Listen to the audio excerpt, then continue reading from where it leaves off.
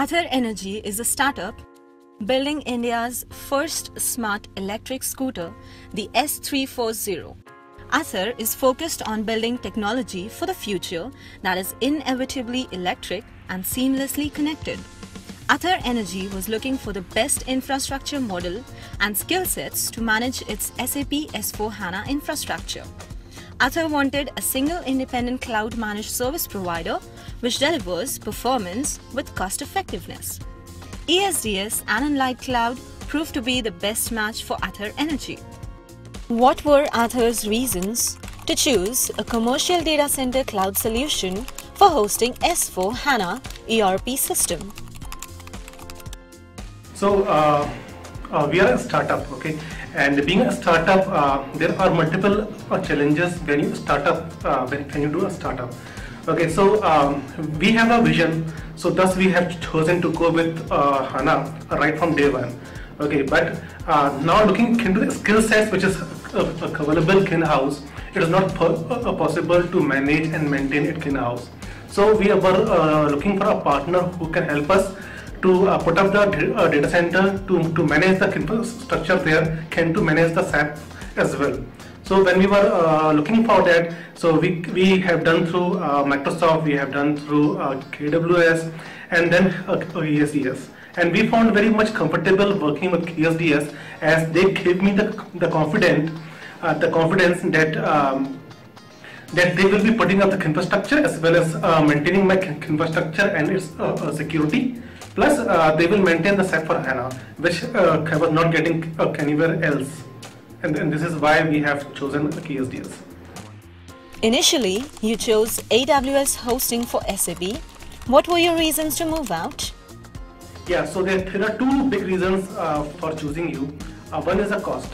So whenever we do with uh, AWS, so whenever we expand, the cost goes like 2x because there is no uh, there is always a vertical uh, provisioning which is in the uh, sizes of x plus 2x plus 3x plus 4x. So the cost with every increase becomes twice.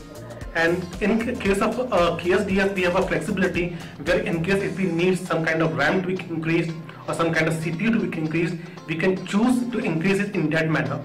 And thus we have chosen a, a ESDS, which has uh, turned out to be very economic to us and the, the second reason is the uh, to maintain it okay? Uh, like case in case we go to uh, Amazon uh, we were like one partner to to maintain the Amazon cloud. Then one partner to manage the security and the DevOps part. And the third partner we needed to maintain the SAP.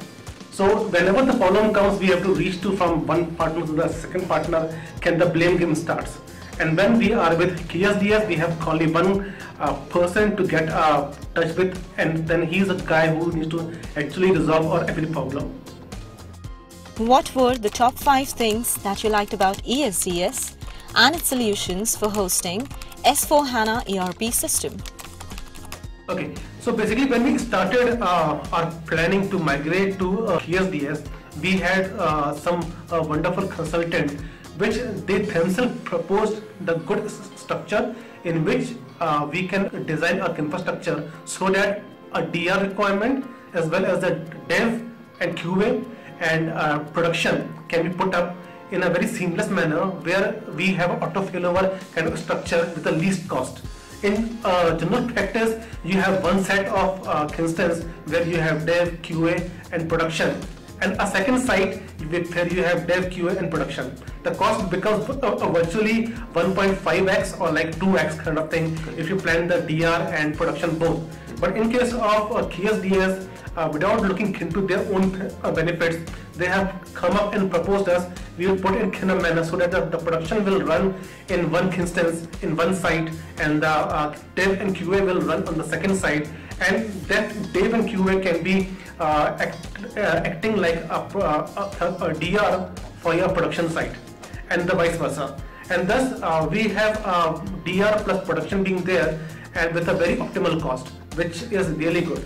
So uh, basically uh, ESDS uh, has an in-house capability where they can manage a cloud in terms of cloud as a, a VM and then we have HANA TDI boxes which they uh, maintain and manage uh, themselves. So my uh, worry of uh, maintaining the platform uh, goes away. Uh, maintenance of the SAP. So uh, SAP resources are not common in the market, and if you you get it, you get it at a very uh, dear price. Okay, so from that perspective, if you see, um, the first thing is the personal touch. In case of the global cloud providers, you don't get a personal touch okay you are just left alone in the cloud and then you have to find your own way there so in case of uh, ESDS, we have uh, people to whom we can speak to, the, the people who can assure us, oh, okay, your infrastructure, your services will be up and running. So, uh, so one thing is the single point of contact. Okay, so where you can just leave your uh, worries for a single person, you can just pick up the phone, call one guy, and your issue is being resolved. Uh, security, uh, yeah, so uh, for putting up an enterprise uh, data on a cloud is always a worry. So uh, with its uh, multiple uh, certifications on cloud and their uh, security team being there in place, full functioning SOC being there, help us to gain a confidence that my data is safe and secure the pricing of course. So the pricing are very competitive in the market uh, and yeah they are flexible to uh, work on the the pricing and can give us the best of the pricing in the market which is very competitive in nature. The last thing is the uh, expertise on SAP of course. Uh, they have multiple customers and uh, before uh, deciding on ESDS we have spoken to multiple customers which are already there on ESDS cloud having SAP and Kenhana being there and yeah they, they gave me the, the confidence that yes uh, ESDS is the right choice to go on with it. How has your experience been with ESDS in the journey so far? Yes, so far it was a awesome uh, journey. What are the top 5 differences you have experienced between ESDS eNlight Cloud hosting versus cloud-based solution from AWS, Azure or other Indian cloud service providers? Yeah, so basically we uh, migrated from uh, Amazon to ESDS, but yeah, uh, ESDS has uh, done their done a wonderful job there, where uh, they have uh, spoken to the multiple vendors to whom we were engaged with earlier, and then brought out a strategy to migrate the complete infrastructure from the cloud, from Amazon cloud to the ESDS cloud, and the experience was very smooth and successful. Yeah, so the first thing is the vertical scaling. Okay, uh, none of the cloud providers as of now uh, give you a vertical scaling. So, you, for instance, you have only one a 28, 256, and uh, likewise in the 2x uh, kind of thing. Whereas we, we get a flexibility that if we want to go from 128 to say 156 GB or like 192 GB, we are flexible to get it from there.